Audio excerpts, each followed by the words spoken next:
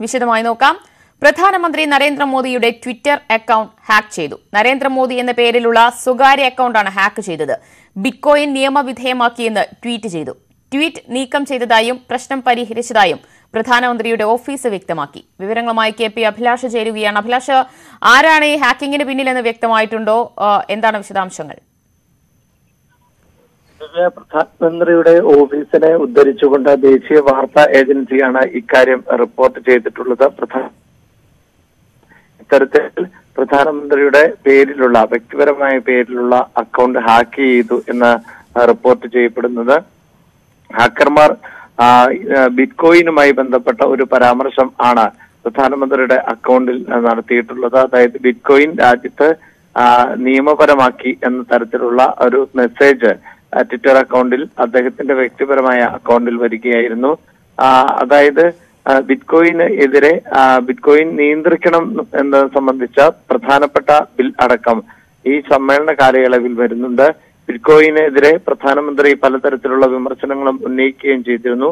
Bitcoin നിയന്ത്രിക്കുന്നതിന് ലോകരാജ്യങ്ങൾ ഒന്നടങ്കം ഒരുമിച്ച് നിൽക്കണം എന്നതടക്കമുള്ള കാര്യങ്ങൾ അദ്ദേഹം നേരത്തെ സൂചിപ്പിക്കുകയും ചെയ്തിരുന്നു.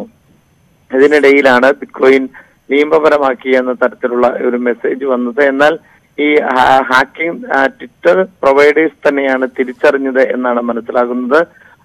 തിരിച്ചറിഞ്ഞ ഉടൻ തന്നെ ഈ മെസ്സേജ് നീക്കം ചെയ്യുകയും ഹാക്കർമാരെ തടയുകയും ചെയ്തിട്ടുണ്ട് എന്നാണ് അറിയാൻ സാധിക്കുന്നത്. എന്നാൽ ആരാണ് ഇത്തരം ഹാക്കിങ്ങിന് പിന്നിൽ എന്നത് സംബന്ധിച്ച വിവരങ്ങൾ ഒന്നും തന്നെ ഈ ഘട്ടത്തിൽ പുറത്തു വന്നിട്ടില്ല. ശരി. കെ പി അഭിലാഷാണ് വിവരങ്ങൾ നൽകിയത്. തിരുവനന്തപുരം പോത്തൻകോട്ട് സുധീഷിനെ വെട്ടിക്കൊന്ന കേസിൽ ഒരാൾ കസ്റ്റഡിയിലായി. കേസിലെ മറ്റു പ്രതികൾക്കായി പോലീസ് അന്വേഷണം ഊർജിതമാക്കിയിട്ടുണ്ട്. ടി ജി സജിത്താണ് ചേരുന്നത്. സജിത്ത് ഇപ്പോൾ പിടിയിലായ ഇയാൾ ഈ കൊലപാതകത്തിൽ നേരിട്ട് പങ്കെടുത്തയാൾ എന്നാണോ അറിയാൻ കഴിയുന്നത്? എന്താണ് വിശദാംശങ്ങൾ? നേരിട്ട് പങ്കെടുത്ത ആൾ തന്നെയാണ് പോലീസിന്റെ കസ്റ്റഡിയിലായത് എന്നതാണ് വിവരം. പോലീസ് നാലോളം സംഘങ്ങളായി തിരിഞ്ഞുകൊണ്ടാണ് പ്രതികൾക്ക് വേണ്ടിയുള്ള തിരച്ചിൽ തുടരുന്നത്. ഇന്നലെ ഈ സംഭവം കൊലപാതകം നടത്തിയ ശേഷം പന്ത്രണ്ടംഗ സംഘം ഒളിവിൽ പോയിരുന്നു. ഇവർക്ക് വേണ്ടിയുള്ള തിരച്ചിലാണ് ഇപ്പോൾ തുടരുന്നത്. പ്രത്യേക പോലീസ് സംഘം മേഖല കേന്ദ്രീകരിച്ചുകൊണ്ട് വലിയ തരത്തിലുള്ള പരിശോധനകൾ നടത്തുന്നുണ്ട്. ഇന്നലെ രാത്രിയാണ് ഇതിൽ ഒരാളെ കസ്റ്റഡിയിൽ എടുത്തിരിക്കുന്നത്. കൂടുതൽ ആളുകളും പോലീസിന്റെ കസ്റ്റഡിയിൽ ഉണ്ട് എന്നാണ് വിവരം. പക്ഷേ ഇക്കാര്യത്തിൽ ഒരു സ്ഥിരീകരണം ഇതുവരെയും ലഭ്യമായിട്ടില്ല. നേരിട്ട് കൊലപാതകത്തിൽ പങ്കെടുത്തവർ ആണ് ഇവർ എന്നാണ് ലഭ്യമാവുന്ന വിവരം. എന്തായാലും മേഖലയിൽ വലിയ തരത്തിലുള്ള പോലീസിന്റെ സുരക്ഷ ഏർപ്പെടുത്തിയിട്ടുണ്ട്. മന്ത്രിമാരടക്കം ഇന്ന് ഈ സ്ഥലം സന്ദർശിക്കുകയും ചെയ്യുന്നുണ്ട്. കാരണം അത്ര ക്രൂരമായ ഒരു കൊലപാതകമാണ് അവിടെ നടന്നിട്ടുള്ളത്. മാത്രമല്ല ഈ മേഖലയിൽ ഗുണ്ടാ സംഘങ്ങളുടെ കുടിപ്പകയടക്കം നേരത്തെയും നിരവധി സംഭവങ്ങൾ ഉണ്ടായിട്ടുണ്ട്. സി സി ടി വിയിൽ ഇന്നലെ ഈ കൊലപാതകൾ വന്നു പോകുന്നതിന്റെ ദൃശ്യങ്ങളടക്കം വ്യക്തമാവുകയും ചെയ്തിട്ടുണ്ട്. എന്തായാലും പോലീസിന്റെ അന്വേഷണം തുടരുകയാണ്. സജിത ഇയാളെ ചോദ്യം ചെയ്താൽ ആരൊക്കെയാണ് മറ്റുള്ളവർ എന്നത് ഉടൻ തന്നെ മനസ്സിലാക്കാൻ സാധിക്കുമെന്നായിരിക്കുമല്ലേ പ്രതീക്ഷ അന്വേഷണ സംഘത്തിന്റെ? തീർച്ചയായും അത്തരം കാര്യങ്ങളിലേക്ക് കടക്കും. കാരണം പ്രത്യേകിച്ച് പോലീസ് ഏറെ പഴി കേൾക്കുന്ന ഒരു കേസ് കൂടിയാണിത്. കാരണം ഈ മേഖലയിൽ നിരവധിയായ ഗുണ്ടാസങ്ങളുടെ കുടിപ്പക അക്രമങ്ങൾ ലഹരി മാഫിയുടെ ഇടപെടലൊക്കെ നേരത്തെ റിപ്പോർട്ട് ചെയ്തിരുന്നു. പക്ഷേ പോലീസിന്റെ ഇടപെടൽ അത്ര കാര്യക്ഷമമല്ല എന്ന പരാതി കേട്ടതാണ്. മാത്രമല്ല ഇന്നലെ ഈ കൊലപാതകം ഉച്ചയ്ക്ക് നടന്നതിന് ശേഷം സി സി ടി വിയിൽ ഇവർ വന്നു വന്നു പോകുന്ന വാഹനത്തിന്റെ നമ്പറുകളും അവരുടെ ദൃശ്യങ്ങളും അടക്കം വ്യക്തമായിട്ട് കൂടിയും ഇവരെ ഇതുവരെയും പിടികൂടാൻ കഴിഞ്ഞിട്ടില്ല. അത് പോലീസിനെതിരെ വലിയ വിമർശന വിധേയമായിട്ടുണ്ട്. സ്വാഭാവികമായും ഇപ്പോൾ കസ്റ്റഡിയിലുള്ളയാളെ വേഗത്തിൽ തെളിവെടുപ്പിന് കൊണ്ടുവന്നു ആ, മറ്റ് സജിത്ത് ഇത് പിടിയിലായത് ആരാണെന്ന് പുറത്തുവിട്ടിട്ടുണ്ടോ പോലീസ് പേരോ മറ്റു വിവരങ്ങളോ എന്തെങ്കിലും അറിയാമോ? പോലീസ് പേര് വിവരങ്ങൾ പുറത്തു വിട്ടിട്ടില്ല. ഇക്കാര്യത്തിൽ പോലീസ് വ്യക്തത വരുത്തിയിട്ടില്ല. എന്തായാലും ഒന്നിലധികം പേർ കസ്റ്റഡിയിൽ ഉണ്ട് എന്നാണ് നമുക്ക് ലഭിക്കുന്ന പ്രാഥമിക വിവരം. പക്ഷേ ഇത് ആരാണ് എന്താണ് എന്നതിൽ സംബന്ധിച്ചൊരു വ്യക്തത പോലീസ് ഇതുവരെയും വരുത്തിയിട്ടില്ല. എന്തായാലും ഈ കേസിൽ കൂടുതൽ വ്യക്തത വരുന്നതിന് ശേഷം പോലീസ് എന്തായാലും മാധ്യമങ്ങളെ വിശദമായി തന്നെ കാണാനാണ് സാധ്യത. ശരി. ടി ജി സജിത്താണ് വിവരങ്ങൾ നൽകിയത്. വീണ്ടും സർക്കാർ ഗവർണർ പോര്.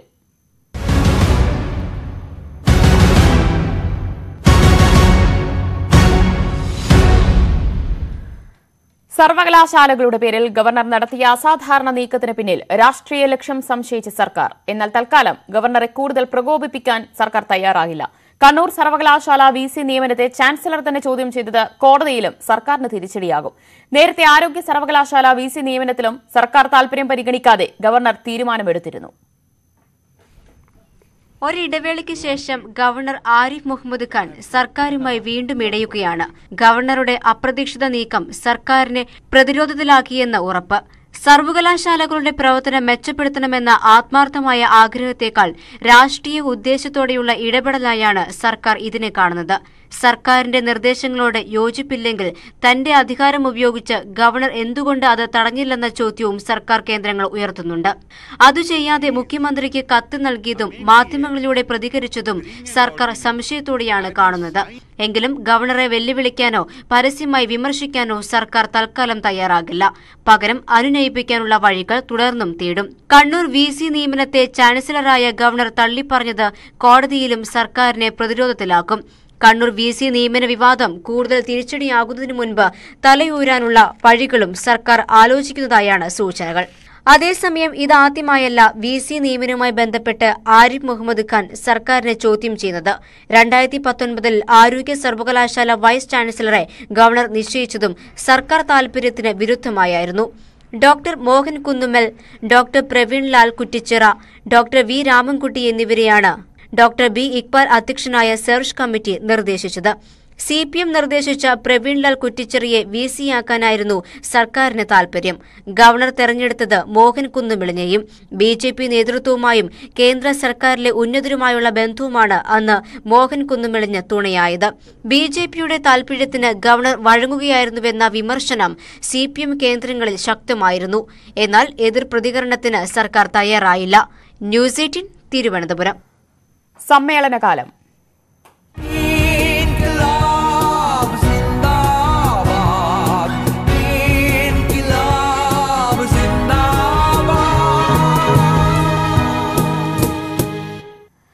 സി പി എം കണ്ണൂർ ജില്ലാ സമ്മേളനത്തിൽ വിഷയമായി സ്വർണക്കടത്ത് കൊട്ടേഷൻ സംഘങ്ങളുമായുള്ള ബന്ധം. മുഖ്യമന്ത്രിയുടെ സാന്നിധ്യത്തിൽ നടന്ന പൊതുചർച്ചയിൽ സർക്കാരിന്റെ പോലീസ് നയത്തിനെതിരെയും വിമർശനമുയർന്നു ഇരുപത്തിമൂന്നാം പാർട്ടി കോൺഗ്രസിന് മുന്നോടിയായി എരിപുരത്ത് നടക്കുന്ന സി കണ്ണൂർ ജില്ലാ സമ്മേളനം ഇന്ന് സമാപിക്കും.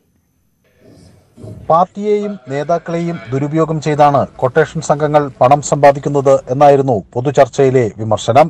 സ്വർണക്കടത്ത് സംഘങ്ങളിലുള്ളവർ സമൂഹ മാധ്യമങ്ങളിൽ ചില നേതാക്കളുടെ സ്തുതിപാഠകരാകുന്നത് തടയുന്നതിൽ പാർട്ടിക്ക് വീഴ്ച പറ്റി. കൊട്ടേഷൻ സംഘങ്ങളുടെ പാർട്ടി ബന്ധം വലിയ തോതിൽ സംഘടനയ്ക്ക് അവമതിപ്പുണ്ടാക്കിയെന്നും പ്രതിനിധികൾ ചൂണ്ടിക്കാട്ടി. പോലീസിൽ നിന്ന് അണികൾക്ക് നീതി ലഭിക്കുന്നില്ലെന്ന് ചിലർ തുറന്നു പറഞ്ഞു. പാനൂരിലെ ലീഗ് പ്രവർത്തകന്റെ കൊലപാതകത്തെ തുടർന്നുള്ള പോലീസ് നടപടികളിലെ അതൃപ്തിയും പ്രതിനിധികൾ പ്രകടമാക്കി. ജില്ലയിലെ സ്നേഹവീടുകളുടെ നിർമ്മാണം പൂർണ വിജയമായില്ല എന്നായിരുന്നു വിലയിരുത്തൽ. ഓരോ പ്രദേശത്തിന്റെയും പ്രാദേശിക കാര്യങ്ങളടക്കം ഉയർത്തിപ്പിടിക്കുന്നതിലും നല്ല മുന്നേറ്റമുണ്ടായി എന്നുള്ളതാണ് പ്രതിനിധികൾ ചൂണ്ടിക്കാണിച്ചത്. അതോടൊപ്പം ചില വിമർശനങ്ങളും പ്രതിനിധി ഉന്നയിക്കുകയുണ്ടായി. ആ വിമർശനങ്ങൾ പാർട്ടിയെ ശക്തിപ്പെടുത്തണമെന്നുള്ള ഉദ്ദേശത്തോടു കൂടി ചൂണ്ടിക്കാണിച്ച നിർദ്ദേശങ്ങളാണ്. സമ്മേളനത്തിന്റെ തുടക്കത്തിൽ വഖഫ് വിവാദങ്ങളിൽ ലീഗിനെ കടന്നാക്രമിച്ച മുഖ്യമന്ത്രി സമാപനത്തോടനുബന്ധിച്ചുള്ള പൊതുസമ്മേളനത്തിൽ ഗവർണർ ഉയർത്തിയ വിവാദങ്ങൾക്ക് മറുപടി പറയും എന്നാണ് പ്രതീക്ഷ. ക്യാമറമാൻ സുമേഷ് മൊറാഴയ്ക്കൊപ്പം മനു ഭരത് ന്യൂസ് എയ്റ്റീൻ കണ്ണൂർ. കൂടുതൽ വിവരങ്ങളുമായി മനു ഭരത് ചേരുകയാണ്. മനു ഇന്ന് സമാപന സമ്മേളനം നടക്കുകയാണ്. പൊതുസമ്മേളനത്തിൽ മുഖ്യമന്ത്രി സംസാരിക്കുന്നുണ്ട്. ഇപ്പോഴത്തെ വിവാദങ്ങളിലൊക്കെ മുഖ്യമന്ത്രി മറുപടി പറയാനാണോ സാധ്യത?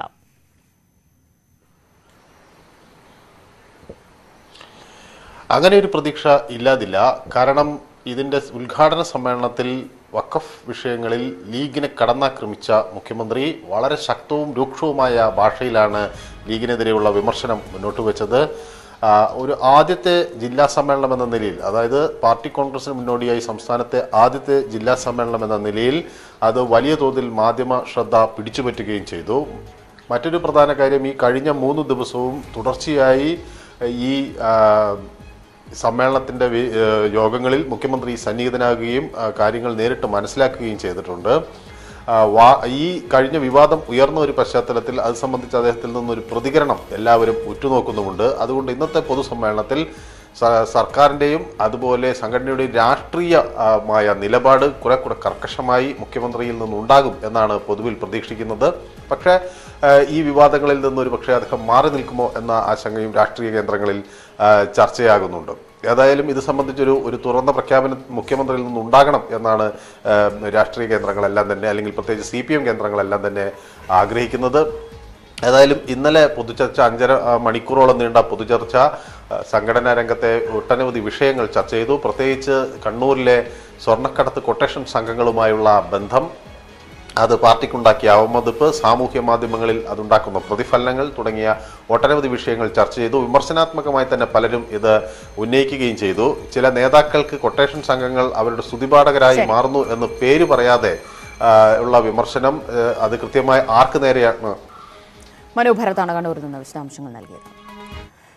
കുരൂർ ഹെലികോപ്റ്റർ അപകടത്തിൽ മരിച്ച സൈനികരിൽ നാല് പേരുടെയും മൃതദേഹം ഇന്ന് ജന്മനാട്ടിലേക്ക് അയക്കും. ശാസ്ത്രീയ പരിശോധനയിലൂടെ മൃതദേഹങ്ങൾ ഇന്നലെ തിരിച്ചറിഞ്ഞിരുന്നു. ലഫ്റ്റനന്റ് കേണൽ ഹർജീന്ദർ സിംഗ് ഹർസത്പാൽ റായ് നായ് ഗുർസേവക് സിംഗ് ജിതേന്ദ്രകുമാർ എന്നിവരുടെ മൃതദേഹം രാവിലെ കുടുംബാംഗങ്ങൾക്ക് വിട്ടുകൊടുക്കും. ഡൽഹിയിൽ നിന്നും പ്രത്യേക വിമാനത്തിലാണ് സംസ്കാര ചടങ്ങുകൾക്കായി മൃതദേഹം ജന്മനാട്ടിലെത്തിക്കുക. സംയുക്ത സൈനിക മേധാവിയായിരുന്ന ബിപിൻ റാവത്ത് ഉൾപ്പെടെ പതിമൂന്ന് പേരുടെ മരണത്തിനിടയാക്കിയ ഹെലികോപ്റ്റർ ദുരന്തത്തെക്കുറിച്ചുള്ള അന്വേഷണത്തിന്റെ പ്രാഥമിക റിപ്പോർട്ട് ഒരാഴ്ചക്കുള്ളിൽ തയ്യാറായേക്കും. Flight data recorder cockpit recorder എന്നിവ പരിശോധിക്കാനുള്ള നടപടി തുടരുകയാണ്. വിദേശ സാങ്കേതിക സഹായം ആവശ്യമാണോ എന്ന് ഇതുവരെ തീരുമാനിച്ചിട്ടില്ല. പ്രതികൂല കാലാവസ്ഥ ഇറക്കുന്നതിനിടയിലെ പിഴവ് പൊട്ടിത്തെറി തുടങ്ങിയ സാധ്യതകളാണ് പ്രധാനമായും പരിശോധിക്കുന്നത്. അമേരിക്കയിലെ കെന്റക്കിയിൽ വീശിയടിച്ച ചുഴലിക്കാറ്റിൽ മരിച്ചവരുടെ എണ്ണം നൂറ് കടന്നു. മെയ്ഫീൽഡിലെ ഫാക്ടറി തകർന്ന് എഴുപത് ജീവനക്കാരാണ് മരിച്ചത്. രക്ഷാപ്രവർത്തനത്തിനെത്തിച്ച വാഹനങ്ങളും ചുഴലിക്കാറ്റിൽ തകർന്നു. ഇല്ലനൌസിലെ ആമസോണിന്റെ ഗോഡൌണിൽ ആറ് ജീവനക്കാരാണ് മരിച്ചത്. രാജ്യത്തിന്റെ ചരിത്രത്തിലെ ഏറ്റവും വലിയ ചുഴലിക്കാറ്റുകളിൽ ഒന്നാണ് കഴിഞ്ഞ ദിവസം വീശിയടിച്ചത്. ഇടവേള.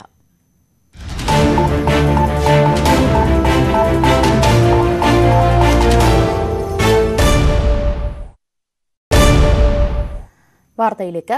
സിറോ മലബാർ സഭയിലെ കുർബാന ഏകീകരണം സംബന്ധിച്ച് എറണാകുളം അങ്കമാലി അതിരൂപതയിൽ തർക്കം രൂക്ഷമാകുന്നു. ഏകീകരണം നടപ്പാക്കില്ലെന്ന് ഒരു വിഭാഗം വൈദികരും വിശ്വാസികളും വീണ്ടും പ്രഖ്യാപിച്ചു. തുടർ സമരപരിപാടികൾ ഇന്ന് തീരുമാനിക്കും. പ്രതിഷേധം കർദിനാൾ ജോർജ് ആലഞ്ചേരിക്കെതിരെ തിരിക്കാനാണ് പുതിയ നീക്കം. വത്തിക്കാൻ നിർദ്ദേശിച്ചാലും കുർബാന ഏകീകരണം നടപ്പാക്കില്ലെന്ന് ആവർത്തിച്ച് വ്യക്തമാക്കിയതോടെ എറണാകുളം അങ്കമാലി അതിരൂപതയിൽ കാര്യങ്ങൾ കൈവിടുകയാണ്. പൗരസ്ത്യ തിരുസംഘം വത്തിക്കാനെ തെറ്റിദ്ധരിപ്പിച്ചുണ്ടാക്കിയ ഉത്തരവാണ് ഇപ്പോൾ വന്നതെന്നാണ് വിമത വിഭാഗത്തിന്റെ പുതിയ വാദം. സിറോ മലബാർ സഭ സിനഡിനോടും വത്തിക്കാനിലെ പൗരസ്ത്യ കാര്യാലയത്തോടും സമരം ചെയ്യാനാണ് അൽമായ മുന്നേറ്റത്തിന്റെ തീരുമാനം. സമരപരിപാടികൾക്ക് ഇന്ന് ചേരുന്ന യോഗം രൂപം നൽകും. കർദിനാൾ ആലഞ്ചേരിയെ ഇനി അതിരൂപതയിലെ ഒരു പരിപാടിയിലും പങ്കെടുപ്പിക്കില്ലെന്നാണ് വിമതപക്ഷത്തിന്റെ വാദം. അതേസമയം വിമത വിഭാഗത്തിനെതിരെ മറ്റ് വിശ്വാസികളും സംഘടിച്ചു തുടങ്ങി.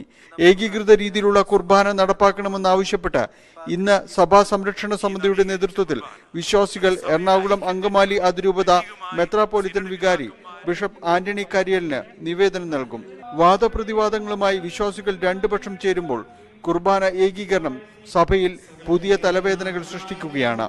News eighteen Kochi. ശബരിമലയിൽ തീർത്ഥാടന കാലം சுவாமி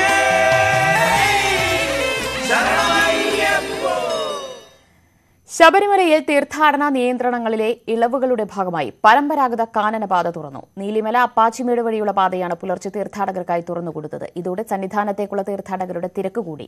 മണ്ഡലകാലത്തെ ഇതുവരെയുള്ള വരുമാനം മുപ്പത്തിയേഴ് കോടി കവിഞ്ഞു. മരക്കൂട്ടത്ത് നിന്ന് എസ് എസ് ശരൺ വിശദാംശങ്ങൾ നൽകും. ശരൺ പരമ്പരാഗത കാനനപാത കൂടി ഇന്ന് രാവിലെ മുതൽ തുറന്നുകൊടുത്തിരിക്കുന്നു ഭക്തർക്കായി. അതിന് മാറ്റം സന്നിധാനത്ത് ഭക്തജനങ്ങളുടെ എണ്ണത്തിൽ കാണാൻ കഴിയുന്നുണ്ടോ?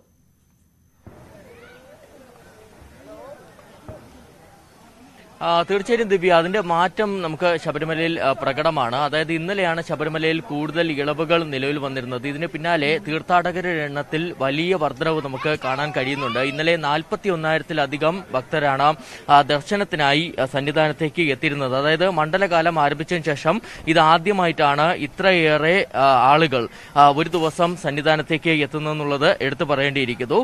മറ്റൊരു പ്രധാനപ്പെട്ട കാര്യം ദിവ്യ സൂചിപ്പിച്ച പോലെ തന്നെ ഇത്തരത്തിൽ ഭക്തരുടെ എണ്ണം വർദ്ധിക്കുമ്പോൾ അത് വരുമാന കാര്യത്തിലും വലിയ ഗുണകരമായി മാറുന്നുണ്ട്. അതായത് മണ്ഡലകാലത്തെ വരുമാനം മുപ്പത്തിയേഴ് കോടി കവിഞ്ഞു എന്നുള്ളതാണ് നമുക്ക് ഏറ്റവും പുതിയതായി മനസ്സിലാക്കാൻ സാധിച്ചിരിക്കുന്നത്. പരമ്പരാഗത കാനനപാത ഇന്ന് പുലർച്ചെ രണ്ട് മണിയോടെയാണ് ഭക്തർക്കായി തുറന്നു കൊടുത്തത്. അതായത് നീലിമഴ അപ്പ- അപ്പാച്ചിമേട് വഴിയുള്ള പരമ്പരാഗത പാതയാണ് ഭക്തർക്കായി തുറന്നു കൊടുത്തിരിക്കുന്നത്. പുലർച്ചെ രണ്ട് മണി മുതൽ രാത്രി എട്ട് മണി വരെയാണ് ഇതുവഴി തീർത്ഥാടകരെ കടത്തിവിടുക. ഏതായാലും കൂടുതൽ സംവിധാനങ്ങളും സൗകര്യങ്ങളും എല്ലാം ഈ പാത പാതയിൽ ഒരുക്കുകയും ചെയ്തിട്ടുണ്ട്. അതിനുശേഷമാണ് ഈ പാത തുറന്നു കൊടുത്തിരിക്കുന്നത്. അതിൽ ഏറ്റവും പ്രധാനമായും രണ്ട് കാർഡിയാക് സെന്ററുകൾ ഒരുക്കിയിട്ടുണ്ടെന്നുള്ളതാണ്. അതായത് നീലിമലയിലും അപ്പാച്ചി മീട്ടിലും രണ്ട് കാർഡിയാക് സെന്റർ ഓരോ കാർഡിയാക് സെന്റർ വീതം ഒരുക്കിയിട്ടുണ്ട്. അഞ്ച് അഞ്ചിടങ്ങളിൽ കുടിവെള്ള സൗകര്യം ഒരുക്കിയിട്ടുണ്ട്. എട്ട് ഓക്സിജൻ പാർലറുകൾ സ്ഥാപിച്ചിട്ടുണ്ട്. ഒപ്പം തന്നെ ഭക്തർക്ക് വിശ്രമിക്കാനായിട്ട് ഏഴ് വിശ്രമ കേന്ദ്രങ്ങൾ അതായത് ഷെഡുകളും ഒരുക്കിയിട്ടുണ്ട്. ഇത്തരത്തിലുള്ള സംവിധാനങ്ങളെല്ലാം ഒരുക്കിയ ശേഷമാണ് ഈ കാരണപാത തുറക്കുകയും ചെയ്തിരിക്കുന്നത്. മറ്റൊരു പ്രധാനപ്പെട്ട കാര്യം ഇന്നലെ ആണ് ഈ പമ്പാ സ്നാനത്തിന് അനുമതി നൽകിയിരുന്നത്. അതായത് ഇന്നലെ രാവിലെ പതിനൊന്ന് മണി മുതൽ പമ്പാ സ്നാനം ആരംഭിച്ചിട്ടുണ്ടായിരുന്നു. ഒപ്പം തന്നെ ഈ സന്നിധാനത്ത് രാത്രി ഭക്തർക്ക് തങ്ങാനുള്ള അനുമതി നൽകിയിട്ടുണ്ട്. ഇന്നലെ വൈകിട്ട് നാല് മണി മുതലാണ് സന്നിധാനത്ത് ഭക്തർക്ക് മുറികളിൽ തങ്ങാനുള്ള അനുമതി നൽകിയിരിക്കുന്നത്. ഏതായാലും ഇത്തരത്തിൽ ഈ ഇളവുകൾ നിലവിൽ വന്നതോടുകൂടി തന്നെ വരും ദിവസങ്ങളിലും ഭക്തരുടെ എണ്ണത്തിൽ വലിയ വർധനവുണ്ടാകുന്ന പ്രതീക്ഷയിലാണ് തിരുവിതാംകൂർ ദേവസ്വം ബോർഡ്. ഈ മണ്ഡലപൂജ ഈ മാസം ഇരുപത്തിയാറിനാണ് നടക്കാതിരിക്കുന്നത് അതുകൊണ്ട് തന്നെ വരും ദിവസങ്ങളിൽ വലിയൊരു വർധന ഉണ്ടാകുമെന്ന് ദേവസ്വം ബോർഡ് വിലയിരുത്തുന്നുണ്ട്. അതുകൊണ്ട് തന്നെ ഭക്തരുടെ എണ്ണം വർദ്ധിക്കാൻ സാധ്യതയുള്ള ഈ നാൽപ്പത്തി അയ്യായിരം പ്രതിദിനം നാൽപ്പത്തി അയ്യായിരം ഭക്തർക്കാണ് ഇപ്പോൾ ഈ ദർശനത്തിന് അനുമതിയുള്ളത്. ഈ പരിധി നീക്കണമെന്നൊരു ആവശ്യം കൂടി ദേവസ്വം ബോർഡ് സർക്കാരിന് മുന്നിൽ വെച്ചിട്ടുണ്ട്. ഇതിൽ അടുത്തയാഴ്ച തീരുമാനമുണ്ടാകുമെന്നാണ് ലഭിക്കുന്ന വിവരം. ശരി. എസ് എസ് ശരണാണ് വിവരങ്ങൾ നൽകിയത്. മഴ മാറാതെ നിൽക്കുന്നതോടെ കോഴിക്കോട്ടെ കൊയ്യാറായ പാടങ്ങൾ വെള്ളത്തിൽ തന്നെ. മാവൂർ ഗോളിയോ റയോൺസിന്റെ കൈവശമുള്ള വയലുകളിൽ വെള്ളക്കെട്ട് തുടരുന്നതോടെ ഏക്കർ കണക്കിന് നെൽകൃഷികൾ നശിച്ചു. മാവൂർ പാടത്തെ മരക്കാർ ബാവയുടെ ഏക്കർ കണക്കിന് സുഗന്ധ നെല്ലിനങ്ങളാണ് ഇപ്പോഴും കൊയ്യാനാവാതെ വെള്ളത്തിൽ തന്നെ കിടക്കുന്നത്.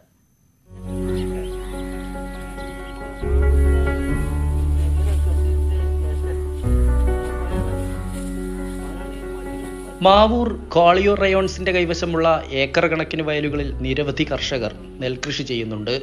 എന്നാൽ ഇത്തവണ മഴ ചതിച്ചതോടെ കൊയ്യാറായ പാടങ്ങൾ പലതും വെള്ളത്തിലാണ്.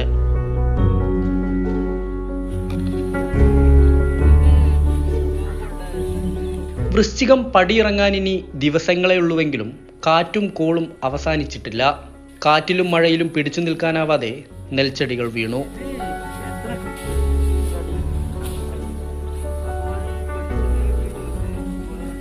മാവൂർ പാടത്ത് മരക്കാർ ബാവയുടെ സുഗന്ധ നെല്ലിനങ്ങളുടെ കൊയ്ത്തടുത്തെങ്കിലും വെള്ളമാണെങ്ങും. ഔഷധ ഗുണമുള്ള രക്തശാലി നെല്ലിനങ്ങൾ പൂർണമായും വെള്ളത്തിലാണെങ്കിലും തൊഴിലാളികളെ ഉപയോഗിച്ച് വെട്ടിയെടുക്കുകയാണ് ഇപ്പോൾ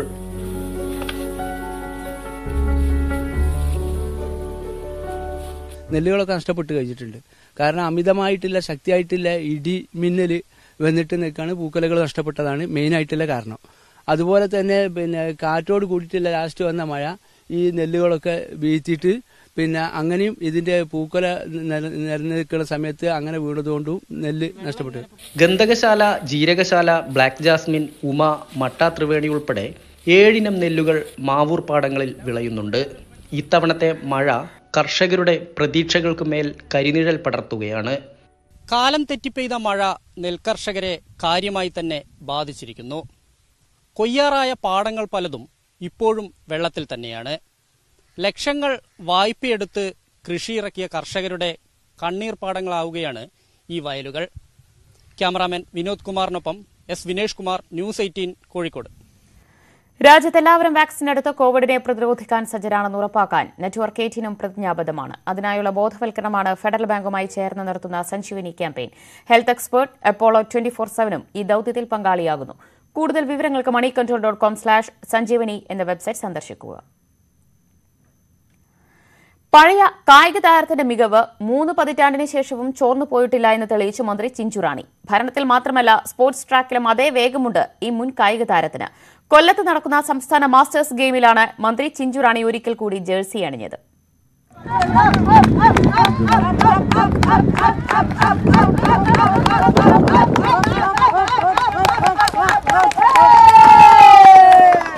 കൊല്ലത്തെ കോളേജ് പഠനകാലത്ത് ട്രാക്കിൽ വേഗത്തിന്റെ തീപ്പൊരിയായ ആ പഴയ കായിക താരം വീണ്ടും അതേ മൈതാനത്ത് ഒരിക്കൽ കൂടി മികവുള്ള ഓട്ടക്കാരിയായി.